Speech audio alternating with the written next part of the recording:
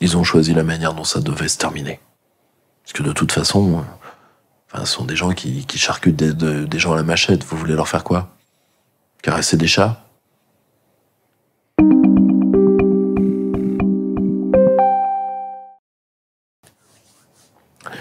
Nous avons affaire à un problème à Mayotte, outre le problème migratoire qui est, qui est toujours, qui est omniprésent, présent, hein. omniprésent. Nous avons affaire à un problème de plus en plus de bandes armées juvéniles qui prennent ce qui- ce qu'on appelle la chimique. Alors la chimique, c'est quoi? C'est euh, Est-ce que c'est un peu comme du cat ou c'est. non, non, non, non, non, non. Le, le, le 4, ça a au moins un caractère pseudo-traditionnel, tu vois. Alors que la chimique, tu vois, c'est, euh, tu vois, on dirait, de, on dirait de la chimio, tu vois. Le, si tu veux, huile de vidange, mayonnaise de midi, tout y passe. Le, euh, tu vois, c'est, c'est du hache, euh, c'est, tout- c'est à vrai dire tout ce qui leur tombe sous la main. Et ça fait des bandes extrêmement violentes, qui torturent, qui tuent, qui mutilent. Donc ils doivent être traités policièrement. De toute façon, on va être très clair, il faut tester nos nouveaux espaces de souveraineté dans les territoires d'outre-mer. C'est-à-dire que le réarmement de l'État passe, on a fait une, très belle conférence là-dessus sur euh, les dom-toms comme une part euh, comme l'avant-garde de la France. hein. c'est une des conférences du cercle. Oui, c'est sur euh, la France archipel. La, la France archipel, c'est le, c'est ce que le- un point doctrinal que j'attendais depuis très longtemps. Le, parce que euh, ils sont les antennes de la France dans le monde qui va vivre. Hein, le, qu'on l'accepte ou pas. Donc, euh, et euh, nos frères n'ont pas à voir leurs conditions de vie être détruites. Moi, je, le dis quand je vois qu'il y a encore des, bidonvilles à Tahiti, des, euh, quand je vois comment sont discriminés une partie de nos frères kanaks, y compris sur leur propre territoire, euh, quand je, voilà, à titre personnel, c'est des choses qui me, qui me révulsent. Je suis, et bien sûr, on a laissé le bordel à Mayotte, or les et je, le dis sincèrement, une partie de, la haute administration française, par européisme, voudrait se larguer ces territoires, mais ne sait pas comment, parce que ces territoires sont loyalistes, il suffit de voir leur vote. Ils sont, euh, si vous voulez, euh, ils sont arrivés à voter pour un parti qui n'a jamais eu de programme pour les dom-toms, qui est le Front National. Bon. Faut, faut aimer la France, hein. Enfin, faut, voir, faut voir, euh, ce que, ce que une partie de l'extrême droite ose écrire sur nos frères domiens.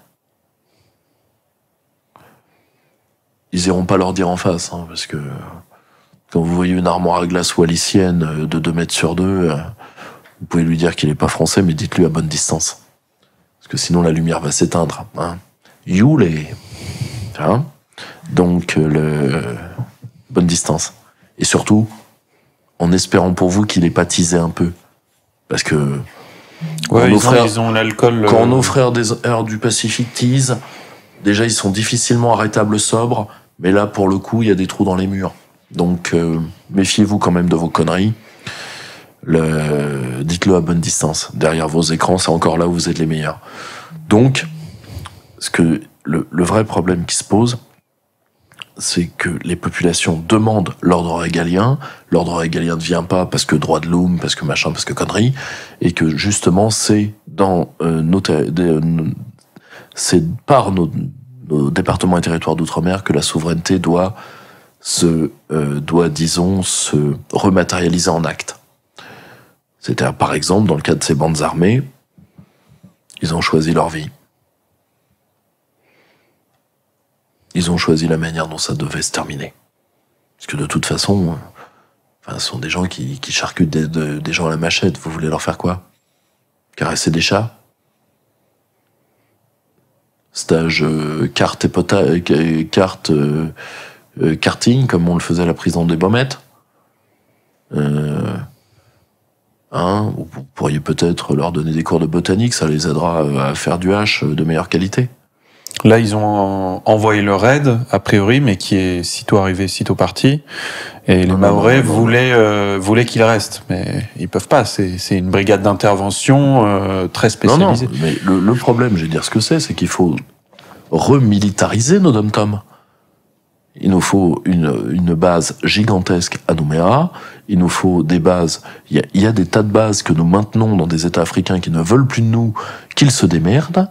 Hein, et alors que je rappelle quand même que on va être très clair, l'Afrique c'est 2% du commerce extérieur français, dont moins de 1% pour la zone subsaharienne. D'accord?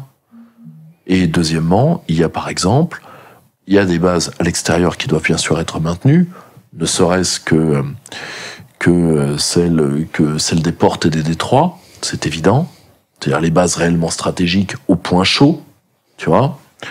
Mais par exemple, il y a, des bases de complaisance que nous avons mis euh, pour sécuriser certains États qui ne nous rapportent rien. Donc euh, non, non, non, non. Nous, nous n'avons pas besoin d'être sur le territoire d'un État étranger pour euh, avoir des bases partout dans le monde. Nous sommes partout dans le monde. Donc, et je peux t'assurer que nous réglerons le problème assez rapidement. Mais c'est le même problème que les orpailleurs violents dans nos terres de Guyane. Nous n'autorisons pas nos, nos, frères de la Légion me, l'ont déjà dit, on nous autorise pas à, les éclater. Alors qu'il faut voir ce que c'est. Les orpailleurs brésiliens, quand ils arrivent en territoire guyanais, t'as 200, 300 mecs qui arrivent surarmés, et ils apportent même leur bordel roulant. Ils apportent leur pute. Pour te dire qu'ils entendent rester. Donc, euh, non, il faut les traiter militairement. Et je serai, euh, et je le dis d'ailleurs, si un orpailleur potentiellement euh, français se perd sur le territoire brésilien, je le dis à nos, amis et, grands voisins, flinguez-le. À titre personnel, sincèrement, euh, démerdeux ziziche.